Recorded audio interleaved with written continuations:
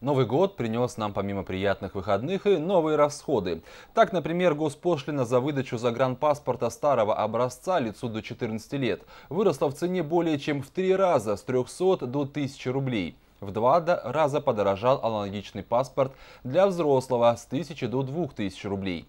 Паспорт нового образца вырос с 2,5 до 3,5 тысяч рублей. Кроме загранпаспортов подорожали браки и разводы, выдача водительских удостоверений, стоимость которых подскочила в 2,5 раза до 2000 рублей.